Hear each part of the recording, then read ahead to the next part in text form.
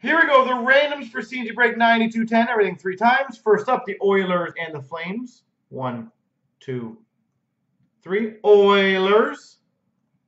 Next up, the Leafs Jets. One, two, three. The Maple Leafs. Next up, the Bruins Coyotes. One, two, three. Boston Bruins. Next up, the Devils Panthers.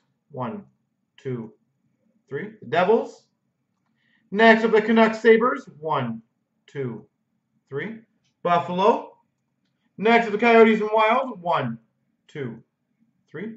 Minnesota.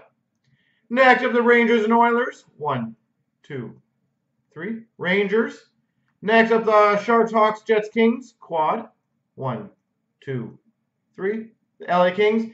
Then the top 10 will get the prizes, and I'll copy and paste over. I'll let you know. Three times.